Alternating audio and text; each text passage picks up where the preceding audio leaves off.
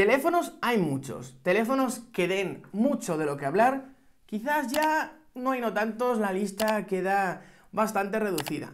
Uno de los que dan bastante que hablar, para bien y para mal, siempre es Huawei, sobre todo últimamente por, ya sabéis, ese gran problema, grave problema entre China y Estados Unidos, que tiene a la pobre Huawei un poco en el medio, que no es su culpa, pero aquí, aquí hemos venido siempre a hablar de absolutamente todo, de lo bueno y de lo malo, guste o no.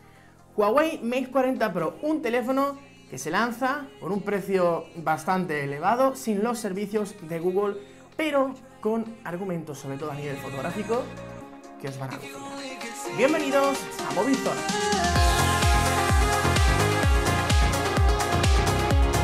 El diseño, como verás, es muy llamativo. De hecho, si le das la vuelta y lo usas así, parece, parece un iPod, ¿verdad? Un iPod Classic. Esto hace que sea algo diferente, que tenga una cierta personalidad y que sea fácil diferenciarlo. Vale, Huawei no fue la primera en usar un encapsulado circular, pero desde luego lo ha llevado un poco a otro nivel.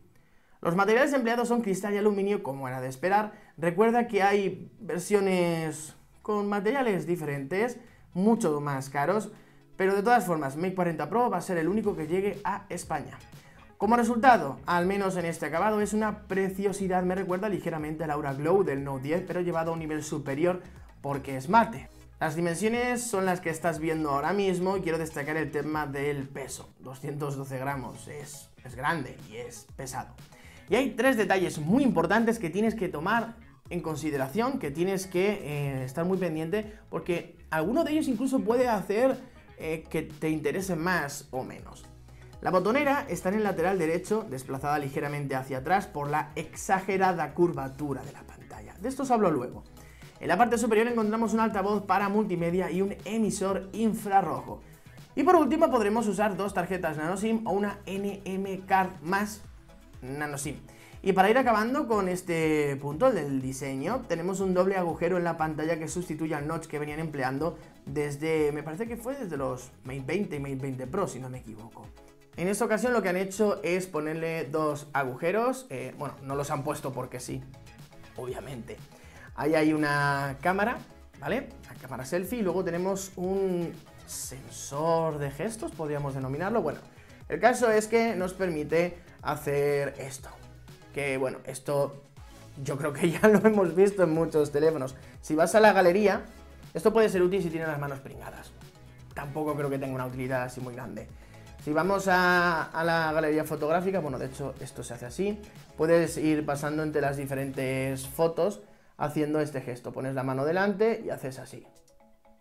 Ya está. O sea, no tiene una grandísima utilidad. Y si haces así, sales a donde están las, las fotografías, ¿vale?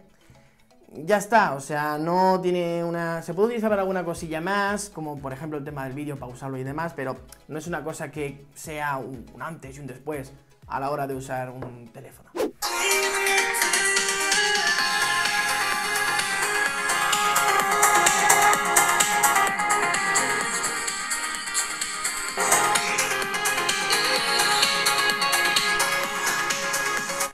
Ya era hora Huawei. A nivel biometría, muy contento, tenemos un desbloqueo por nuestro rostro, es decir, un desbloqueo facial, que funciona incluso cuando las condiciones de luz pues no son muy buenas. Ahí lo tenéis, o sea, es espectacular y es de lo mejor que he probado este año. Pero además, a esto le añadimos la posibilidad de tener un sensor, bueno, la posibilidad de tener, no, lo tenemos, un sensor de huellas en pantalla que es exacto, que es rápido, que uy, que casi se me cae, sí se me cae aquí en directo, em, que está muy bien ubicado y la verdad es que es una pasada. A nivel biometría, creo que es el mejor teléfono que se ha lanzado en 2020.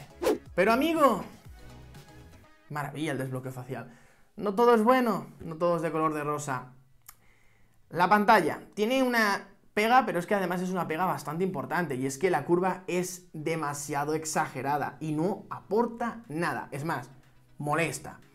No solo al usarlo, em, por ejemplo, en, yo que sé, estando en Twitter, sino al consumir multimedia, en mi caso, eh, también cuando lo he utilizado en el coche como GPS, que por cierto es súper exacto y rápido por el tema reflejos. Es que no aporta absolutamente nada. Más allá de eso, dejándolo en margen, contamos con una tasa de refresco de 90 Hz, aún le cuesta un poco a Huawei llegar a los 120, un panel OLED de generosas dimensiones con una resolución que supera el Full HD Plus. HDR10 y vamos, que está bien, que es bastante completo. Buena calibración, ni muy cálido ni muy frío, el funcionamiento del táctil es bastante bueno, el grado de detalle también, y el brillo es muy alto. Una pantalla tan grande unida a la experiencia de calidad de audio que te he comentado, hacen que usarlo en multimedia sea genial. Además es simétrico en la parte superior e inferior, luego está, bueno, la cuestión del doble agujero, que te gustará más o menos, pero si hablamos de calidad pura y dura, es incuestionable que Huawei ha usado uno de los mejores paneles que pues, habrá tenido acceso a ello. De todas formas, sobre todo en ángulos de visión, creo que mm, acabo de hacer una captura de pantalla. Ah, bueno, esto no lo he comentado. Que si haces así, pues también haces una captura de pantalla. El caso es que mm, la pantalla mm, es muy buena, pero el tema de la curva lo echa todo a perder. En cuanto a las cámaras, antes de hablar de, ellas, que por cierto, en, la parte trasera hay tres cámaras. Parece que hay cuatro, pero realmente son tres. La otra es un sensor láser para el, el enfoque. Da igual la situación de noche, de día, de cerca, de lejos, vídeo, selfie, da igual, lo va a hacer bien. Es bárbaro. Contamos, como os he dicho, con tres cámaras eh, traseras, la principal RIIB de 50 megapíxeles y estabilización óptica. El gran angular de 20 megapíxeles, luego veréis que es el mejor gran angular del mercado por lejos y una cámara teleobjetivo de 12 megapíxeles, obviamente es un Huawei de gama alta y aquí hay zoom para aburrir. Zoom óptico de 5 aumentos. En cuanto a la frontal, cámaras como tal hay una de 13 megapíxeles, los, otros como habréis dado cuenta es un sensor para los gestos. Y bueno, eh, creo que también os va a gustar. ¿Estáis preparados? Bien, vamos a comenzar con el apartado del vídeo. He grabado muchísimos vídeos, he grabado, he hecho muchísimas fotos, tengo como 300 y pico ejemplos. Bueno, eh, diferentes clips em, de vídeo. Y ya os digo que es la mejor estabilización que he probado junto a la del Note 20 Ultra. El nivel es tan alto que parece que me monté, eh, no sé, en un gimbal o algo así, nada más lejos de la realidad.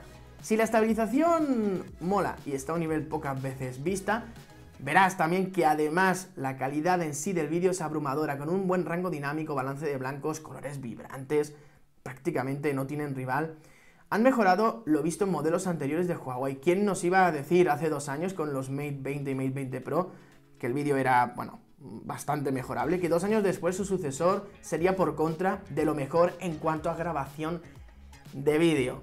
Descuida que no te voy a poner todos los clips, que te voy a poner todas las fotos porque si no el vídeo sería eterno, pero wow, qué grabación de vídeo. Huawei siempre ha sido una de las eh, reinas dentro de la fotografía nocturna, por suerte ahora no es tan espectacular, sino que es más bien realista. Y precisamente es lo que nos encontramos aquí. Necesitamos un buen hardware, pero también obviamente el software y algoritmos tienen su parte de culpa para tener un buen apartado nocturno. El resultado de todo ese conglomerado de tecnologías es el que estás viendo.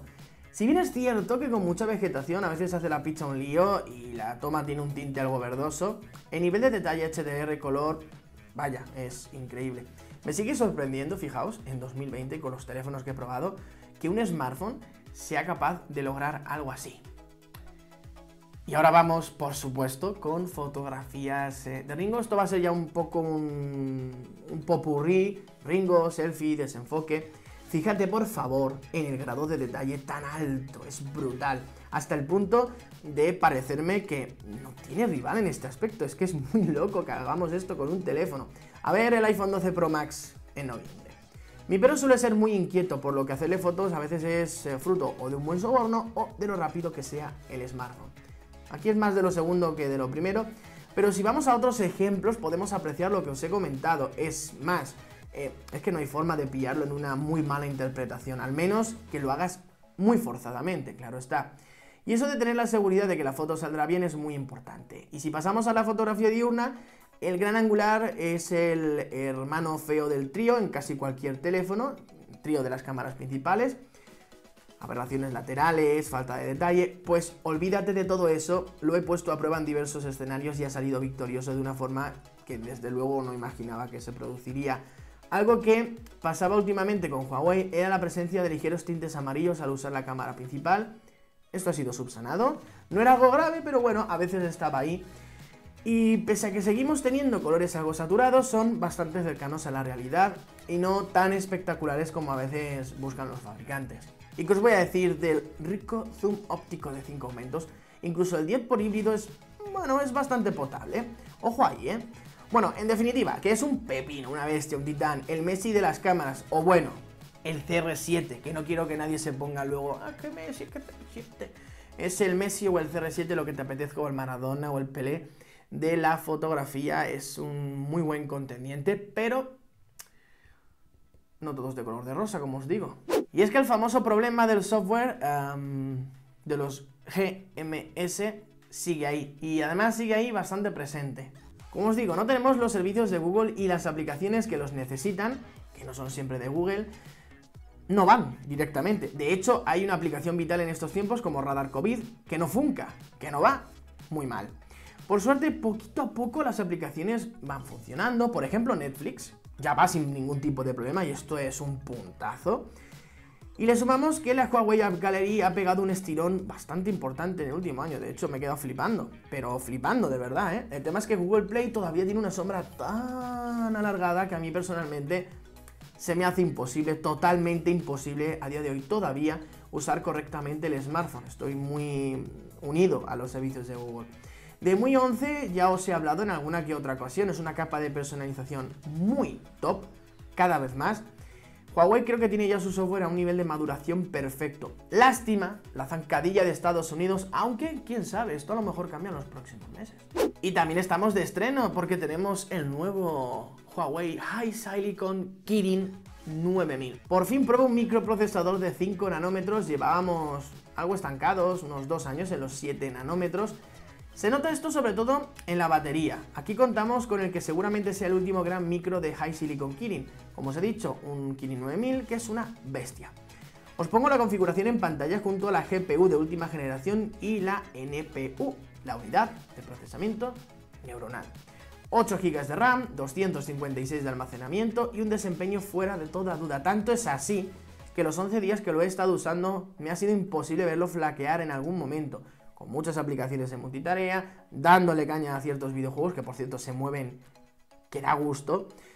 Los juegos, como os digo, corren al máximo que permite el desarrollador. Y cuando la acción es frenética, partículas, elementos, luz, destrucción, todo luce como debe. Espectacular. Es exactamente lo que esperas de un smartphone que supera ampliamente los 1000 euros de valor. En cuanto a la conectividad al loro, porque lo que carga es bastante importante. Wi-Fi de todos los colores. 5G, NFC, Bluetooth 5.2, USB-C 3.1, USB OTG, AGPS, GLONASS, BDS, Galileo, QZSS, Navic. Vamos, eh, va cargado hasta los topes. A nivel batería barra autonomía, también muy contento. Tenemos una batería de 4400 mAh, que está bastante bien, pero ojo, espera. Carga rápida, 66 vatios. En unos 45 minutos tienes del 0 a 100 el teléfono perfectamente. Luego tenemos una carga inalámbrica de 50 vatios, lo cual es una pasada. No tengo un cargador de 50 vatios, eh, un cargador inalámbrico, pero calculo que en una hora y 5, una hora y 10 minutos más o menos tendremos el teléfono cargado de 0 a 100. Yo sí que he hecho mis pruebas por cable y efectivamente son entre 45 y 47 minutos lo que tarda en cargar desde que está el teléfono sin batería apagado hasta que está al 100%. En cuanto a horas de pantalla, no he bajado de las 6 horas y media, 7 horas de pantalla, siempre con la tasa de refresco, ya sabéis, está adaptativa, ¿no? La que es un poco más versátil, no está siempre a 90 o a 60, va ahí modificándose. Así que muy guay. Y llegamos al tema del precio, 1199 pavos. Sony, Samsung, Apple, OnePlus venden teléfonos a ese precio. El tema es que serán mejores o peores teléfonos, no tienen el gran problema, el gran escollo de los servicios de Google. Se hace muy complicado recomendarle a alguien un teléfono de 1200 pavos con esa tara, con ese problema. Se hace muy complicado. Yo, por ejemplo, mm, no me compraría un teléfono sin los servicios de Google. Pero también te digo, si para ti no es un problema, si puedes convivir con ello, si luego lo instalas, que además eh, no creo que se tarde mucho en poder instalar esto, es más, ya hay por ahí algún proceso que requiere de únicamente instalar una aplicación y luego podrán funcionar mejor o peor, pero lo puedes instalar. Si eso no es un problema para ti y tienes la pasta, o sea, ten por seguro que el teléfono te va a encantar. Poco más, si te ha molado ya sabes que le puedes dar al like, tienes más información y ficha técnica en la descripción justo aquí debajo. y os leo en los comentarios. No os peleéis, ¿eh? Paz y amor. Nos vemos en próximos vídeos aquí en Mobile. Chao.